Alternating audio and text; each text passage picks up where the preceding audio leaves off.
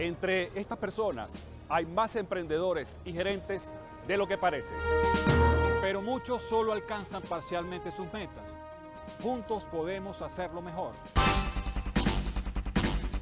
La gerencia se aplica en todo, en tu trabajo, en tus estudios y en tu crecimiento personal.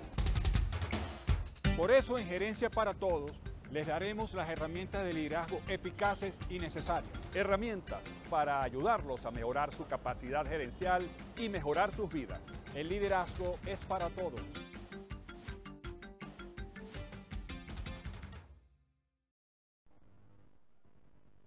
El siguiente espacio es un programa informativo con elementos de lenguaje, salud, sexo y violencia tipo A y es una producción nacional independiente de Rafael Nieves, bajo el número 26588. Gerencia para Todos y Rafael Nieves están en acción con soluciones para alcanzar tus objetivos, estrategias productivas, economía, finanzas personales, emprendimiento, seguros y consumo inteligente. Bienvenidos a Gerencia para Todos, la primera iniciativa de emprendimiento, innovación y liderazgo. Estamos en acción para desarrollar tu autonomía, tu calidad de vida y para que todos puedan aplicar la gerencia en sus vidas, solucionar problemas y alcanzar objetivos ecológicos. Gracias por sintonizarnos en nuestra amplia red de radio y televisión. Gracias por seguirnos en nuestro canal de YouTube Gerencia para Todos. También por seguirnos en Twitter e Instagram, arroba Gerencia para Todos. Y usar nuestras aplicaciones, el blog de emprendimiento e intercambio gerencial, libros productivos, la máquina financiera, la guía laboral, artículos gerenciales resumidos y nuestras publicaciones Acción Empresarial y Gerencia para Todos que también están en las salas de espera. El primer recurso que debemos gerenciar es nuestra propia vida. Por eso debemos ser creativos. Desarrollar la gerencia creativa. La gerencia creativa es el germen de una posibilidad global de conocimiento en que convergen las humanidades, la tecnología y la gerencia. Y su foco de estudio son los procesos creativos y su aplicación en las organizaciones que van a ser más inteligentes. Fíjense, hay muchísimas cosas creativas que cada uno de nosotros ha hecho para solucionar diversos problemas el secreto de continuar ese tren y esa velocidad creativa es cultivarlo, darnos cuenta de esa creatividad que todos tenemos. Desarrollar el liderazgo creativo es muy importante, sobre todo en los momentos más difíciles, en las crisis económicas, sobre todo aquellos emprendedores que están construyendo su máquina financiera para surfear la inflación. De eso vamos a conversar al regreso de la siguiente pausa. Gracias por continuar con nosotros en Gerencia para Todos, la primera iniciativa de emprendimiento, economía y liderazgo. Hoy estamos conversando sobre gerencia creativa. Todos tenemos muchos rasgos de creatividad. Hay personas que lo han desarrollado más que otros. Y han habido procesos mundiales en los cuales se, ha aplicado en muchas organizaciones.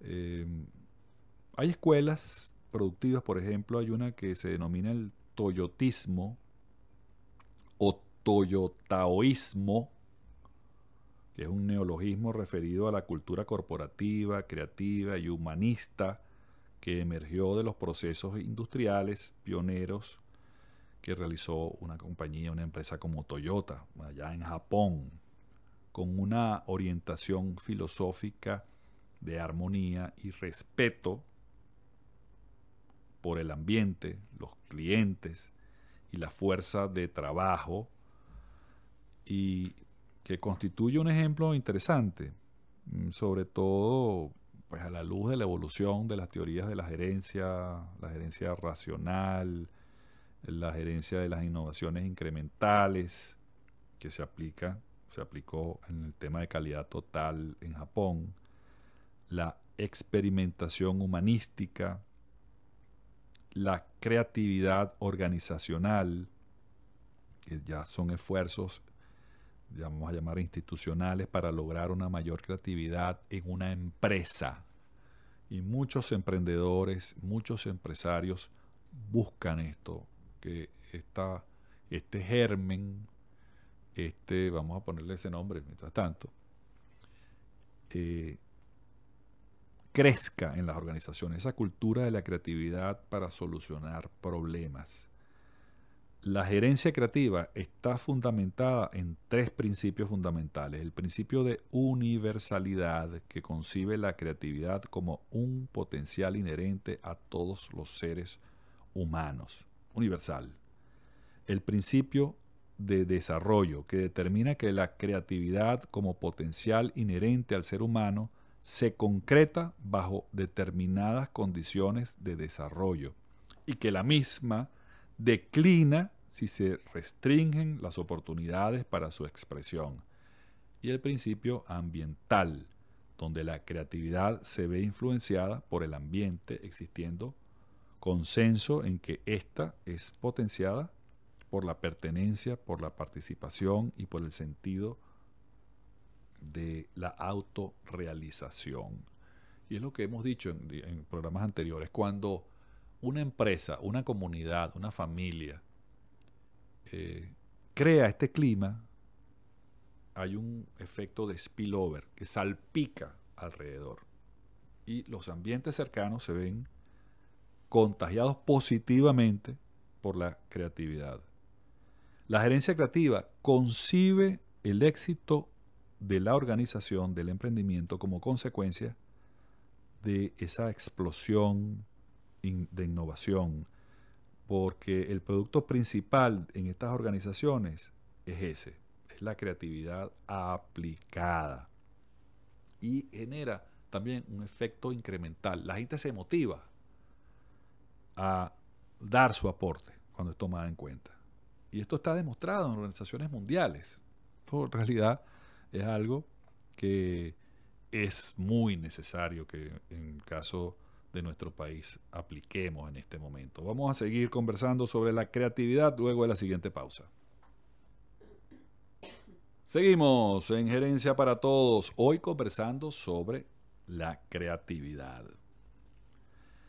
Eh, es muy importante la creatividad, sobre todo en momentos difíciles, porque es lo que nos permite resolver problemas. En este momento en el mundo, por cierto, a consideración de este programa, estamos en la época de la imaginación, de la creatividad.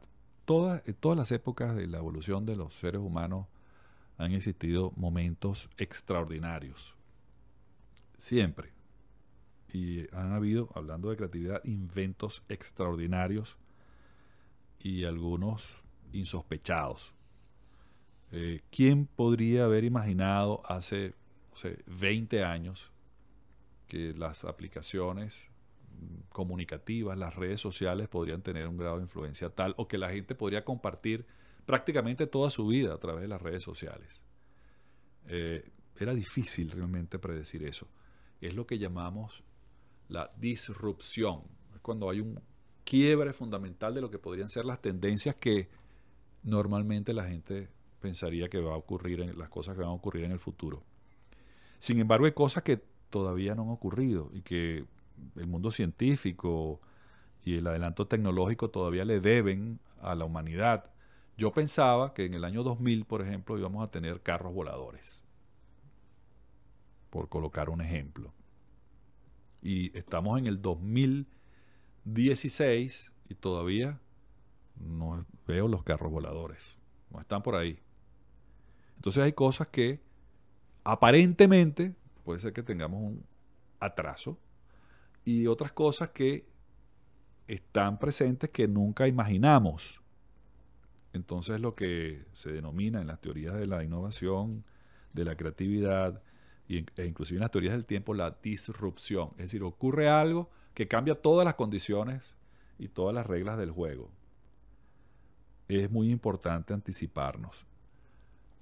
Aquí siempre colocamos un ejemplo, pero que ilustra mucho esto.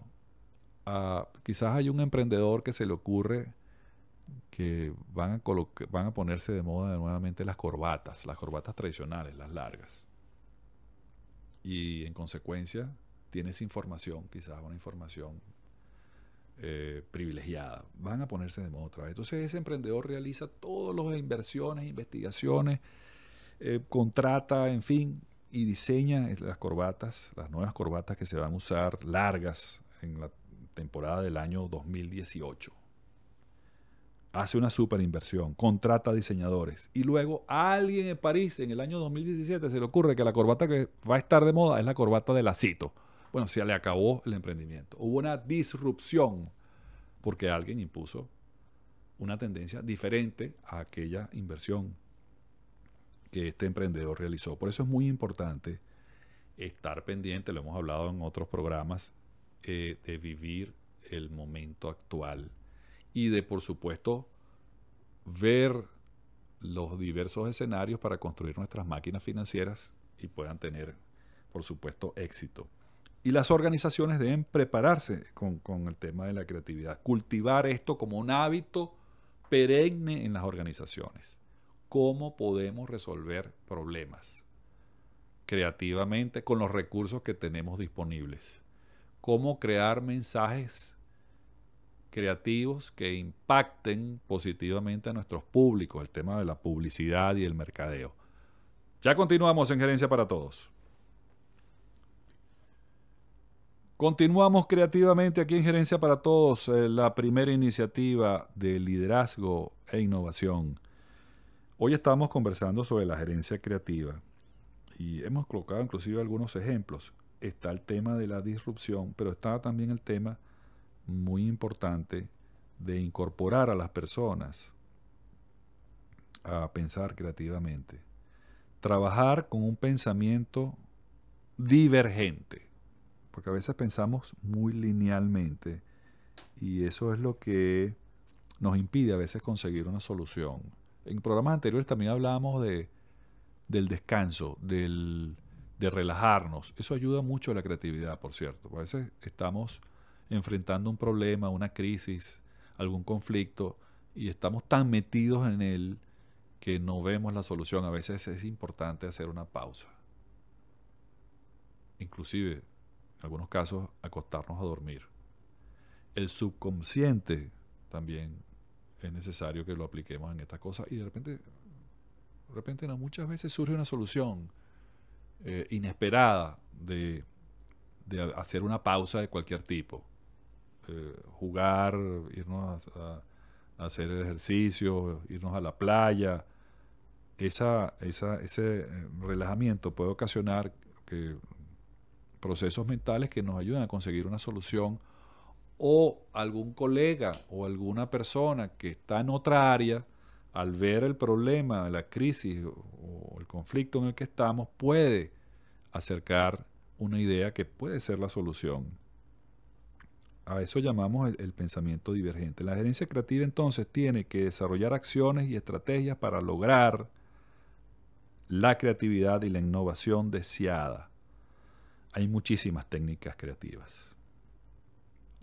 Tormenta de ideas, hay muchísimas técnicas creativas. Aquí lo importante es la libertad creativa, incentivos, la aprobación y la revisión de procesos que permitan un equilibrio entre la calidad de las ideas y las expectativas que se generan de las ideas implementadas. Debe haber también gerencia flexible, infraestructuras flexibles que permitan apoyar los requerimientos de los equipos creativos, que en las empresas, esas personas que tienen esa cualidad, se le enseñen a otros.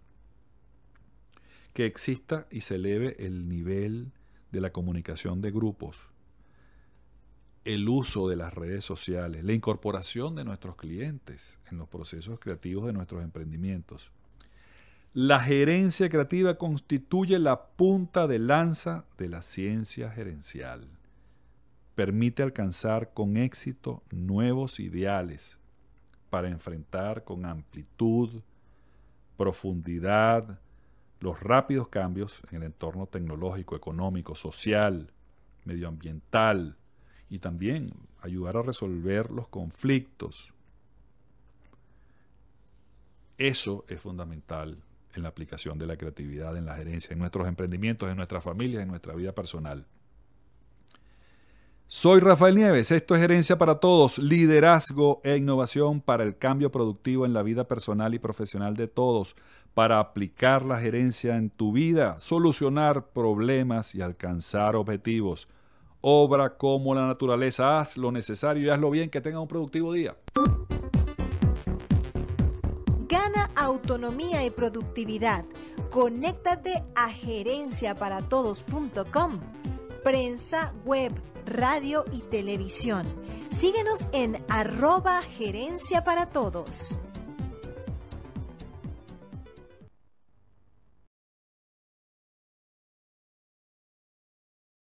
AXN Tank es un tanque de pensamiento constituido por especialistas en red para presentar soluciones a las empresas en materia de factibilidad económica, investigaciones de mercado, coaching, desarrollo humano.